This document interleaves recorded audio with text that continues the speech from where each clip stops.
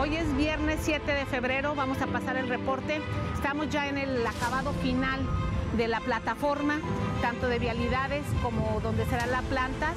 Se está haciendo una mezcla de cal, pero vamos a ver el reporte.